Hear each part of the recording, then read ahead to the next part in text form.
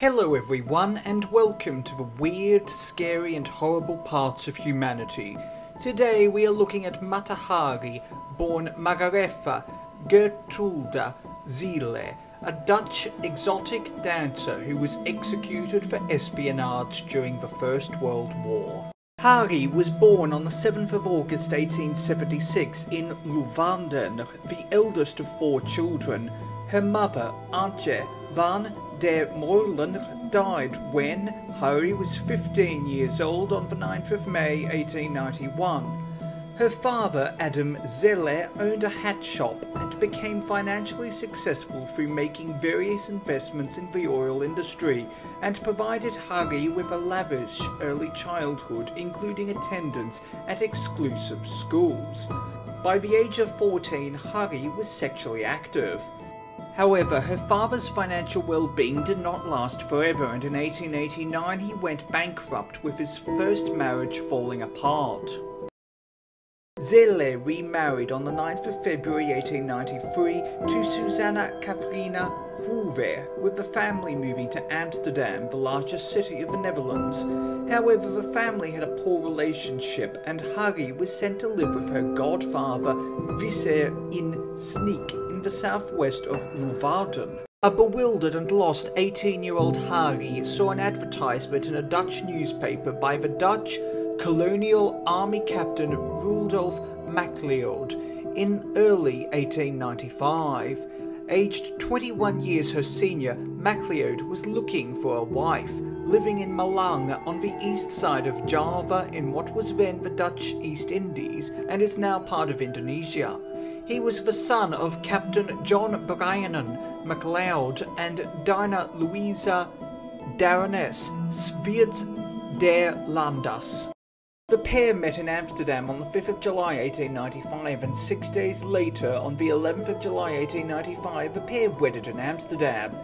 This enabled Hari to move into the Dutch upper class at a time in society where class was of significant importance. MacLeod remained in the Netherlands and the pair had a child, Norman John MacLeod, born on the 30th of January 1897, who is pictured to the right with his father.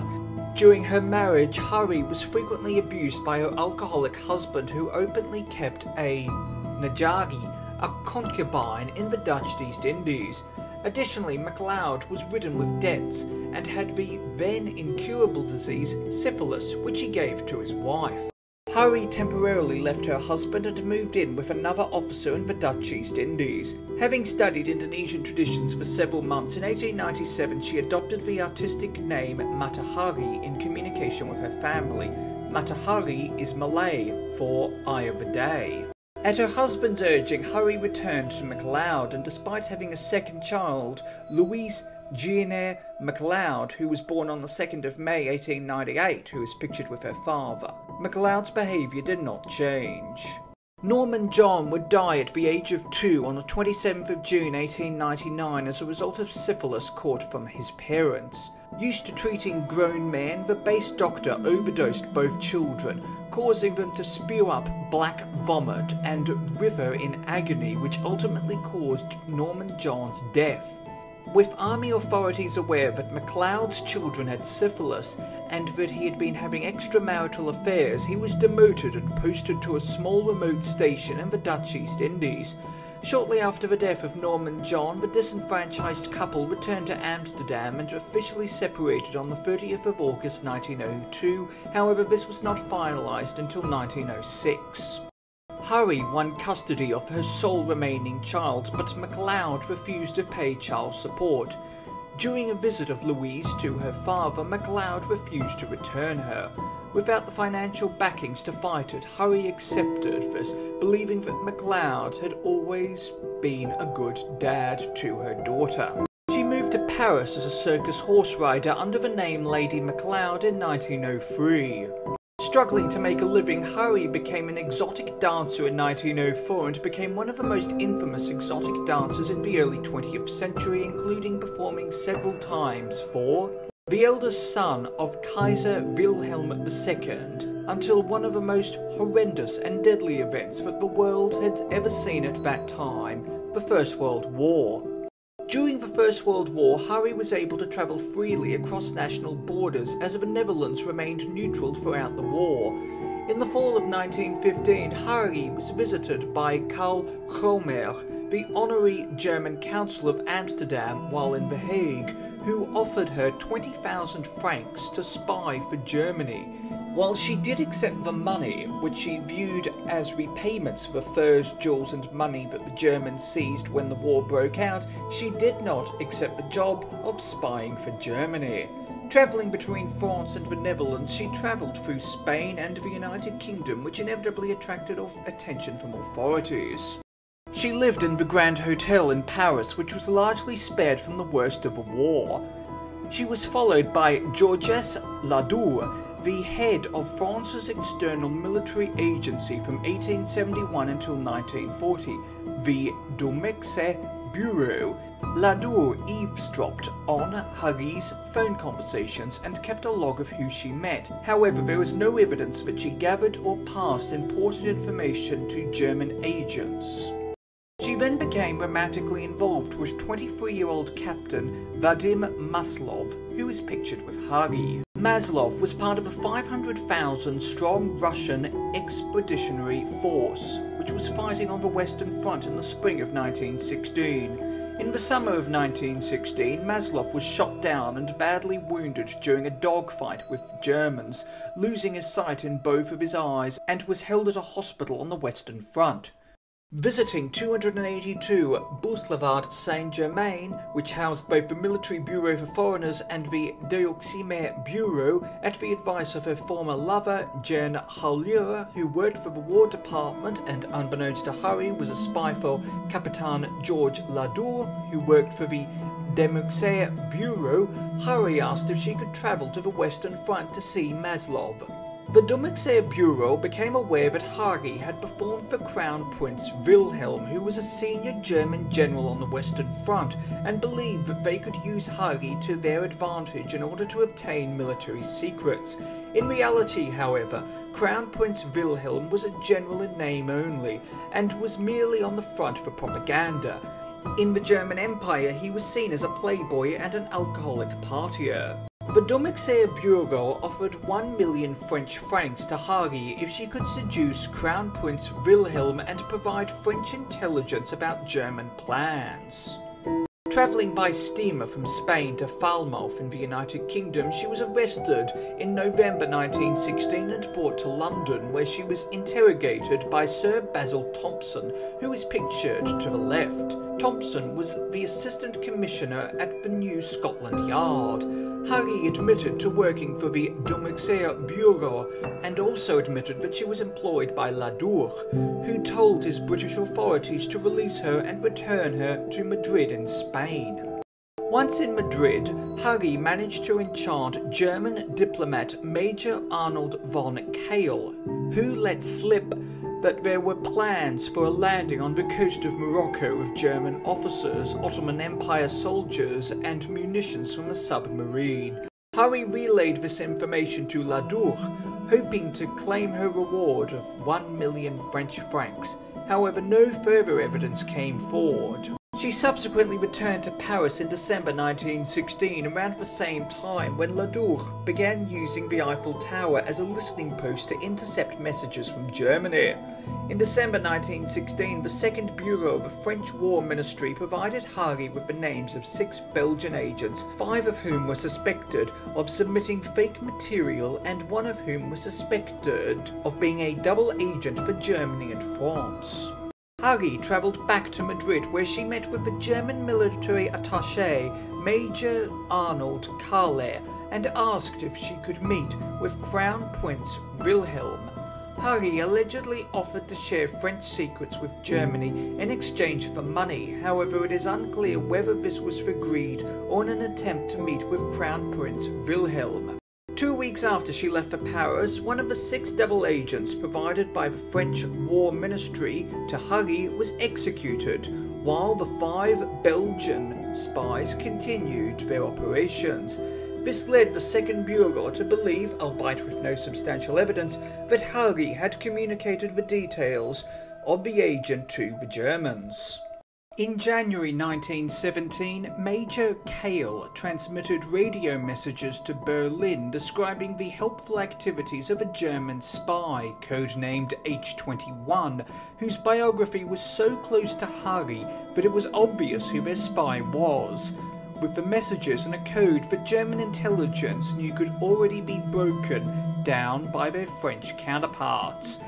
The Deuxième Bureau intercepted these messages, and through translation, Ladoux, who is pictured, easily deduced that H21 was Mata Hari. Conveniently, Ladoux was the only one who saw the messages and they were subsequently destroyed. Additionally, the chief intelligence officer of the German army, Walter Nicolai, pictured to the left, became increasingly angry with Hari as she was unable to provide him with substantive information, instead selling him more Parisian gossip about the sex lives of French politicians and generals. Her employment with the Germans was terminated, and then she was exposed as a German spy by Nicolai to the Deuxième Bureau. In the interim, Ladoux had been arrested as being a double spy but was subsequently released. Returning to Paris and having not been paid, a financially stretched Hari moved to cheaper hotels around Paris. On the 12th of February 1917, a warrant was issued for her arrest, and she was arrested in her room at the Hotel Elysee Palace on the Champs-Élysées the next day. Placed in a flea and rat-infested cell in the prison in Saint-Lazare, she was denied access to medical treatment, her possessions, clean clothing and lingerie, as well as no soap for washing. Put on trial on the 24th of July, she was accused of spying for Germany and causing the death of at least 50,000 soldiers. Ladoux's telegrams and radio messages were the only evidence against her. Interrogated by Captain Pierre Bouchardon, she admitted that she had accepted 20,000 francs from a German diplomat in the Netherlands to spy on France, but insisted that she only passed on trivial information as her loyalty was entirely to her adopted nation of France. Secret ink was found in her hotel room at the Hotel Elysee Palace, which she contended was merely part of her makeup. Hari wrote several letters to the Dutch ambassador in France declaring her innocence. She was heartbroken when the love of her life, Maslov, declined to testify for her and did not care if she was convicted or not. When she found out about this in the courtroom, she fainted.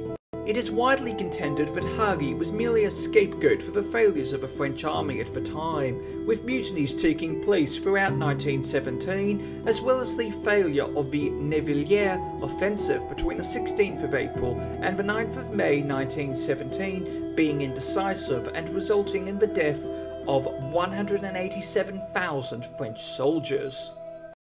The new Prime Minister of France, Georges Clemenceau, who came to power on the 16th of November 1917, was prepared to win the war at all costs through total victory, as well as make an example of individuals who were accused of the crimes allegedly committed by Hari.